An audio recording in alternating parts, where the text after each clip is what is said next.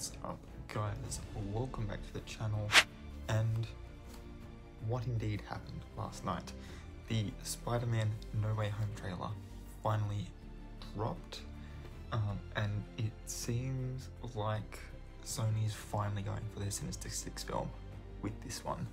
Um, obviously both in my um, thumbnail that I've got on this video uh, as well as sort of popping up on the screen over the side here um, one at a time will be little bits where we can see like Doctor Octopus and Green Goblin and Electro and Sandman. And if you look really hard in the background of this shot the lizard um, which means that we've got you know Green Goblin from Sam Raimi's Spider-Man 1 Doc Ock from Spider-Man 2 Sandman from Spider-Man 3 we won't be getting Venom because Venom's been rebooted in Sony's Spider-Verse, um, which also got renamed. We're going to touch on that in a second. Um, so we've got the three sort of major villains from Sam Raimi's trilogy. Then we've got the Lizard and Electro, the two major villains from that one. Third villain, or th third villain from Amazing Spider-Man 2 was Green Goblin, who I've already got, which is the Harry Osborn version of the character. Um, does make me wonder whether or not we're going to get Harry Osborn in this movie. Um, and then the last one um, that so far we haven't seen or had any confirmation of um, is Paul Giamatti's Rhino, um, which if we got that from the three from the Raimi trilogy, Lizard, Electro, Rhino would be our Sinister Six. Um, however, this Lego set in particular um, looks like it's showing us in this little bottom corner here, this little green thing looks an awful lot like Scorpion, um, which would be a bit of a tie-in to the MCU's main continuity, our sacred timeline, if you will. Um, and because he was in uh, Homecoming, so this being sort of the last of this trilogy, um, we could see Scorpion come back as our sixth member. It's also been brought to my attention that uh, Vulture could is still a possibility, as well as uh, Mysterio, as given by these two LEGO sets. These, however, seem to me um, more like uh, a recap of um, events past, sort of a thing. So, sort of like a recap, sort of a thing um, of villains. Um, the Shocker is also still out and about somewhere, so he could also potentially fill a role.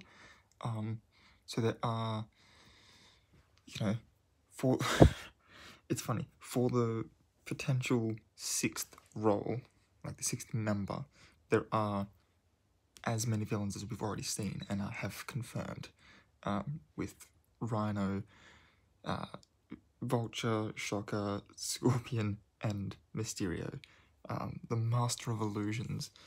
Um, so, yeah.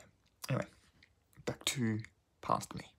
Um, so there's a lot of like speculation out there as to who the sixth member is.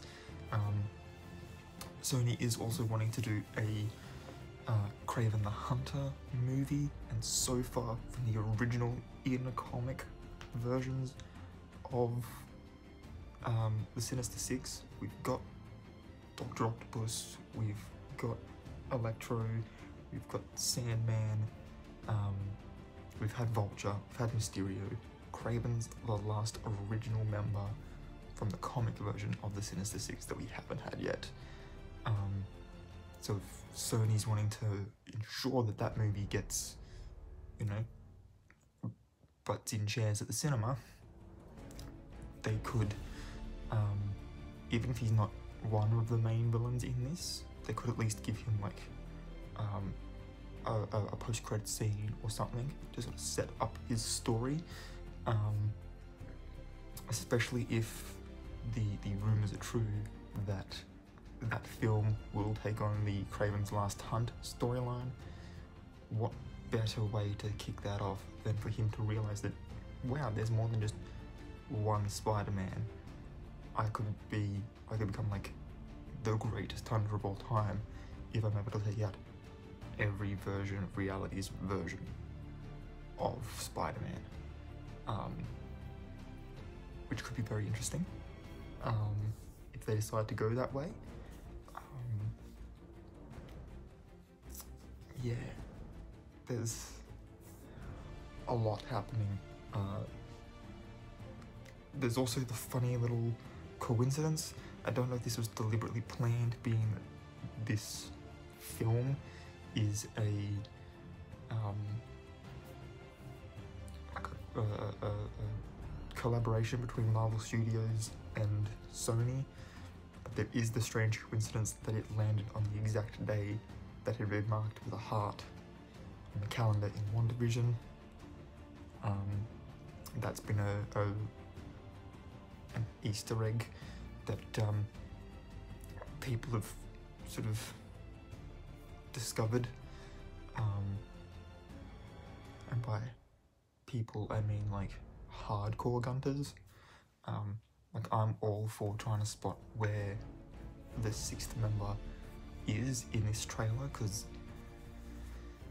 you don't just give us, you know, can confirm like actual Alfred Molina's face and this specific design of Pumpkin Bomb without going, okay, well, like, yeah, we know that Willem Dafoe's told you that he's not in this, but like, this is clearly his character. Because um, that is the exact design as the ones from the Raimi movies. Um, so you don't just give us these without being like, okay, yeah, no, we know you're not stupid. You can count Goblin, Octopus, Sandman, Lizard, Electro. Obviously, we're going for the Sinister Six, so you would think that they would put that in the trailer as well. Um, I mean, for me, Lizard was the hardest one to spot, um, mainly because in the particular shot that he's in, Tom Holland is like front and center, and Lizard sort of is a dark color, bit of a blurry shape in the background there.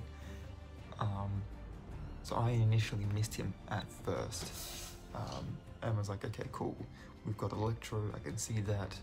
Um, I knew that we were getting a more comic accurate version and not Blue Electro, which is from the Ultimates comics. Um, I knew that that's the, the, the aesthetic they were going for. So the Yellow Lightning, I was immediately like, that's Electro. Obviously, Doc Ock and, and Green Goblin are kind of front and center in their respective shots. Um, and then there's a lot of speculation that like the dust cloud the first time you see in in this shot, the dust cloud that's happening, and then in this bit, that the big old sand pillar over the side is Sandman. Um, yeah, it's um, it's kind of interesting. Um, I think the other thing too for this film is that I am. Yeah, so let's talk about who the sixth villain is going to be because it, what I was about to say kind of ties into that anyway. Um, so if it's Rhino or Scorpion, um, and I'm kind of inclined to believe because of the Lego set that it is actually Scorpion, that does give us an actual villain in this in this film. Um, because Willem Dafoe's Green Goblin, right at the end of that film, if you remember, um, Norman Osborn, like the Norman Osborn identity, um, was trying to plead with Tobey Maguire's Spider-Man to save him from the Goblin because he didn't want to, you know, like, like it was, it was essentially like my body's being hijacked by this other identity that I don't want. Um, and so he's sort of, you know, the Norman Osborn part of him was a friendly character. It was the, the goblin that made him paranoid and evil. At the end of Spider-Man 2, uh, Doc Ock regains control over his um, his mechanical arms and sort of redeems himself, becomes kind of a, a good guy. The Sandman character, you know, gets gets forgiven by Peter and sort of becomes a sympathetic character. So those three villains have so, on some level been redeemed and are not like all the way on the evil side of things. Um, we might even end up seeing Doctor Octopus being kind of a bit of a um, an anti-hero type of character, um, you know, trying to help but going about it the wrong way because the arms still have some level of voice in, in his head. Um, the lizard, by the same token, tried to save Spider-Man as his like arm was peeling away. Um, you know, even though he was arrested, he at the end of the day was like, yeah, no, okay, like I've gone too far. I need to stop. Like, tried to redeem himself, um, which really only leaves um, Electro, who was blown up in that film. Um, but he's also still got the, the, the part of Max Dillon being a Spider fan at the beginning of that film. So there is still, on some level, a way to redeem Spider-Man in Electro's eyes. Um, which brings us down to the final, the final ones. If we're gonna get Rhino, Amazing Spider-Man 2 finished with sort of the opening part of a fight scene, if Andrew Garfield does in fact make a return in this film, and if Rhino is in this film, even if it's just, you know, even if he doesn't end up joining the Sinister Six of this film, um, I think it'd be really, I think that would be a really interesting place to open one of the portals into the amazing Spider-Verse. Um, I think that'd be really cool. Um, maybe maybe that's where we get Andrew Garfield's character from, like at that point. So he knows like, okay, yeah, no, so like, know, in my universe, Gwen Stacy's dead, and the Green Goblin's Harry Osborn, and, you know, the Lizard's a sympathetic character. Um, he would know that sort of thing. Um, so that could be kind of cool to open up there. Um, I think it'd be really cool if we're gonna get Tobey Maguire Spider-Man. I think it'd be really cool to open up with the proposed opening scene for Raimi Spider-Man 4, unless that's actually happening now, which I think it might be upon second thought. Two seconds. Spider-Man 4, let's go.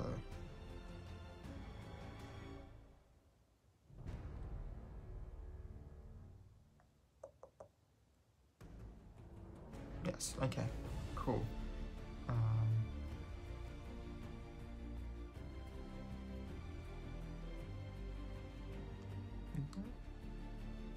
um,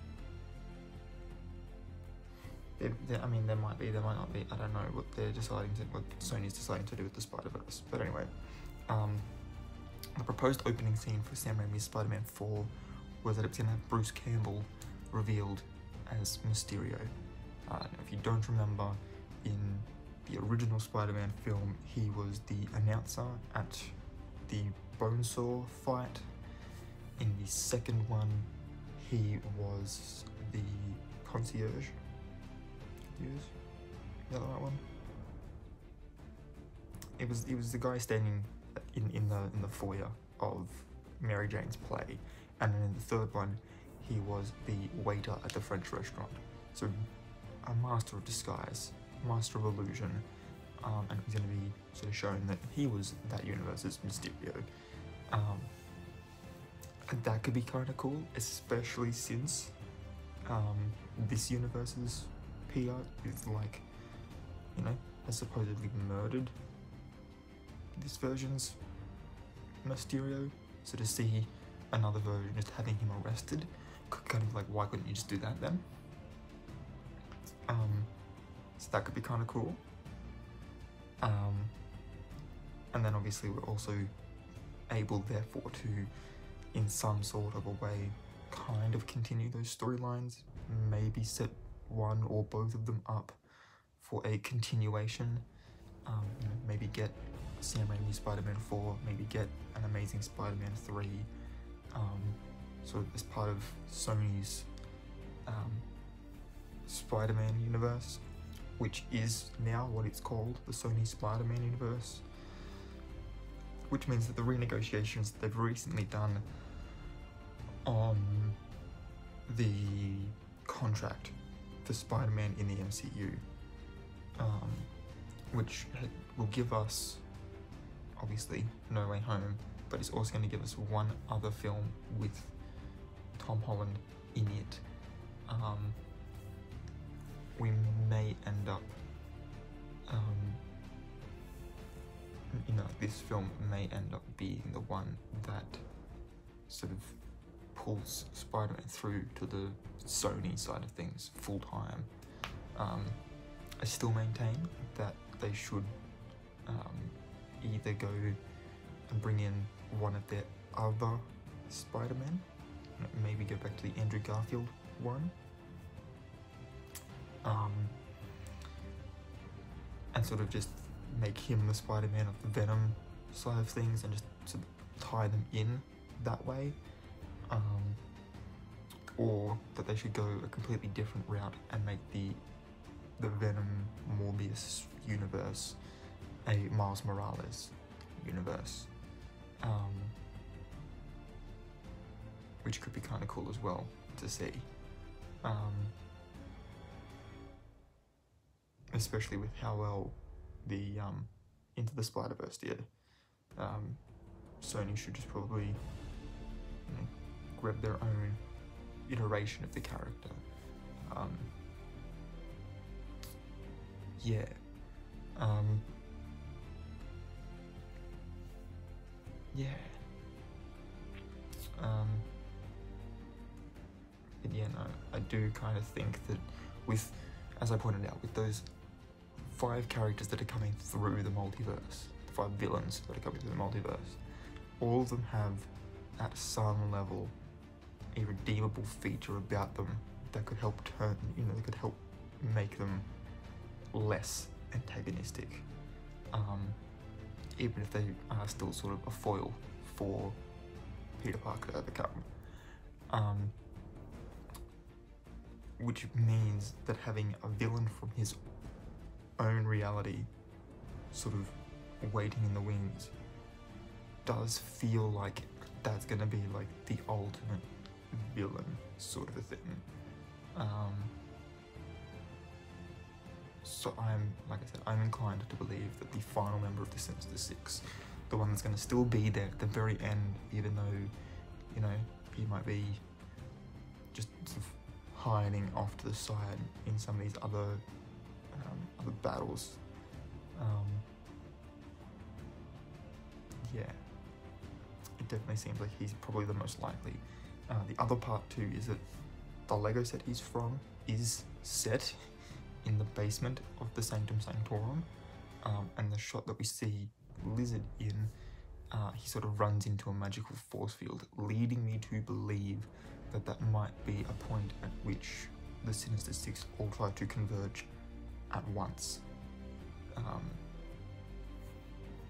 which, yeah, um, if all of these speculated characters are, are there, it's essentially going to be a one-on-one -on -one fight either way because we'll have Tom Holland as Spider-Man, we'll have Doctor Strange, who he knows are there. Wong's probably going to want to protect the Sanctum Sanctorum as well. You factor in that there's apparently going to be two other Spider-Man, the Tobey Maguire and the Andrew Garfield version, and then potentially Daredevil as well. um, you, you you've got six heroes there. Um, so it could be it could be interesting to um to see. Um, but yes, the trailer's released. I will link it below. Um, I'll also link um, an Easter egg breakdown, the NewRockstars Easter egg breakdown in the description as well. Um, just because you know, I'm, I'm only specifically talking about who who the last villain might be and, and how he might set up Sony's Spider-Man universe um, and and sort of the future of the MCU um, as well. Um, so yeah, I'm gonna leave the breakdown and the trailer below. Um, haven't seen the trailer, do go watch it. It's so good. Um, and I'm gonna I'm gonna leave it there for today. Uh, if you're new here, please hit the subscribe button. Don't forget to hit that notification bell as well if you want to be notified when I upload new videos. If you liked this one, please give the old thumbs up. Um, let me know who you hope the sixth Sinister Six member will be in the comments down below. Do you think it's going to be someone we've already seen, like Rhino or Scorpion, or do you think it's going to be someone completely new, like, um, like Kraven, um, or, or, you know, maybe even someone like um, Black Cat, who was sort of set up in Amazing Spider-Man 2, but never got to suit up in Amazing Spider-Man 2. Uh, let me know your thoughts in the comments down below. And until next time, guys, keep your head screwed on.